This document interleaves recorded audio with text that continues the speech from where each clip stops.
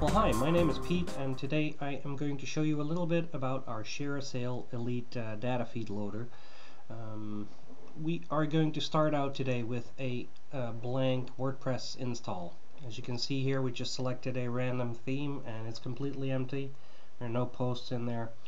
Uh, we're going to jump to the administration panel right now. And as you can see, our plugin has already been preloaded. Uh, if this is the first time you're installing our plugin, you will find it underneath your settings. Um, just click on the ShareASale Elite Auto Feed Loader uh, button and uh, the plugin will load itself. Now the first thing you want to do when you install the plugin for the first time is enter your credentials. Uh, to do that you just click on the enter login settings first and you will be shown the screen right here.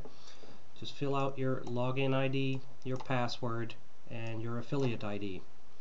Now the last one, uh, you're going to need to enter uh, the token from the ShareSale API Center. In order to do that, we've included a little tool for you. Just scroll down and click on the link that you see below. I'm not going to do that right now because you're going to see all our private information, but if you click on that link, uh, it'll take you directly to the ShareSale uh, API Center and you are going to need your own IP address which we've uh, provided for you right here. And you just fill out that IP address and get the token and then you copy and paste the token in this field right here. Now when you're all done setting those uh, IDs just click once on update my uh, my settings. And you're gonna get a message here that uh, you're all set and that you need to click on the button on the top left corner of your screen so when we click that button uh, what the plugin is going to do, it's going to connect to ShareASale and it's going to pull all the data feeds that you have access to. Now in our case we uh, happen to have access right now to 212 uh, data feeds with a total of some uh, 3,375,000 uh, posts in there. And you can scroll down the feeds right here. And as you can see, we've also got the selection buttons on the front. So in order to push a data feed into your WordPress uh, install it's as simple as just hitting the button hitting push it and it's going to basically pull the data feed from ShareASale push it into your system convert it to WordPress posts and as you see it's already loaded uh, these uh, these posts this particular data feed only has 10 posts in there so now when we go to the front end of your WordPress install we'll hit reload. And if all is well we should see 10 new posts in there. Now do keep in mind that these uh, do have your affiliate links uh, embedded right in there. When you hover over the image um, I don't know if you can see it in the bottom of your screen there's the uh, affiliate ID uh, in the link. So that's how simple it is to push a data feed uh, to a WordPress post now of course it's not the only thing this plugin does. Um, you can select multiple feeds if you want to and if you're uh, really uh, positive today you can select them all if you wanted to. Now do keep in mind as we say it here already uh, depending on your server and your systems you might go into overload when you do that. I mean it's it's taking a lot of uh, effort from your system in order to push all those data feeds at once. But if you think your system is up to it you can try. Otherwise we would recommend uh, going uh, like three four five feeds at a time. Now when you selected these feeds now this feed is about a hotel uh, and resorts. If I run this one again of course it's not going to do anything because uh, the system will see that we've got duplicate posts and it will complain about that too. So having said that if I take any other feed you also see this box right here where we can enter some keywords and replace them with our own. Now why are we including this? Uh, it's a major SEO feature, a search engine uh, optimization feature because your search engines will uh, really hate duplicate posts and as you're pulling posts from data feed uh, typically other people will have done that before you so you're going to have a lot of uh, the same posts on the internet. Now in our case, what we can do, um, suppose we've got a data feed with wine products. Now there's bound to be some words in there uh, like wine and red and uh, stuff like that. What we are going to do is replace those words with words that we've chosen ourselves. Now if I'm going to run this feed right now,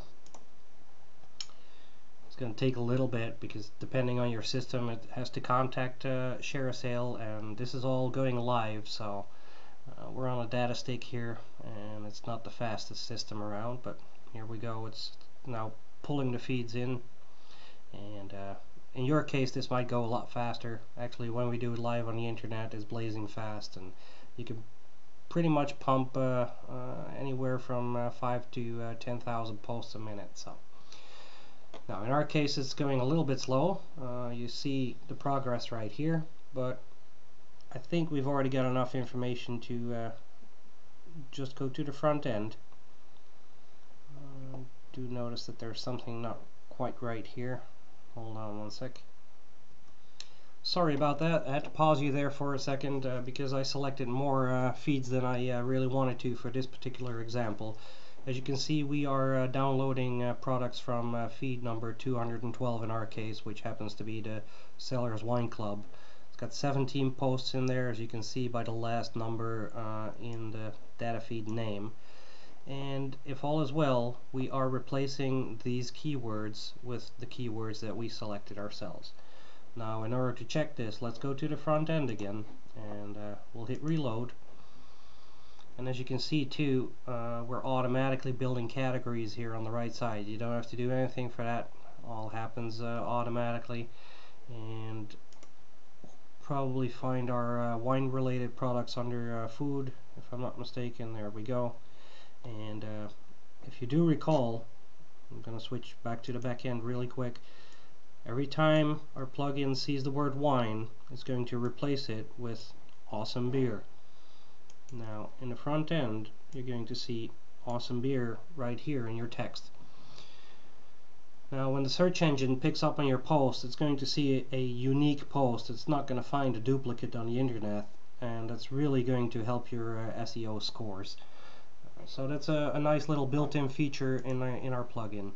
Now another feature that we have is a uh, filter.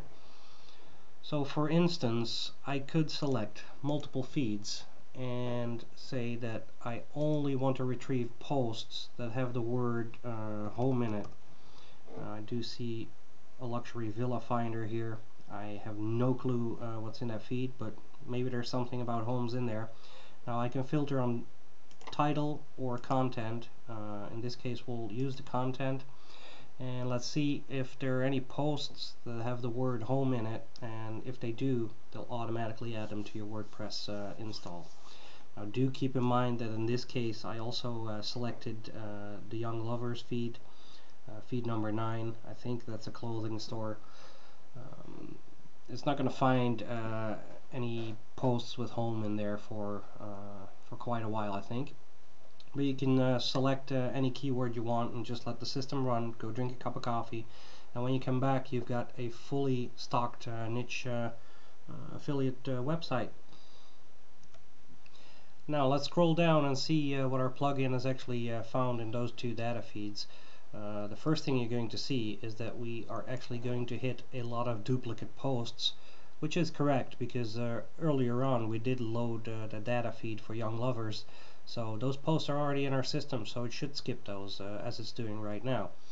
Now if it does not find a duplicate post, it is going to see if our keyword uh, matches something in the content. And as you can see here, we're skipping uh, most of these posts because it doesn't find uh, the word home in the content. Now let's see the green ones right here are posts where it did find the word home and that's uh, those are actually entries that it turned into WordPress posts. So if we go to the front end in a minute, we will see these green posts showing up as normal posts in your WordPress install. Let's check that and go to the front end and we are going to just go to the index page again and right here are your posts with the word home in it and this is how you can very easily uh, create uh, any niche uh, site you want. well, I hope uh, you can make some money with our plugins and uh, hope to see you again in one of our other tutorials. Have a great day. Bye.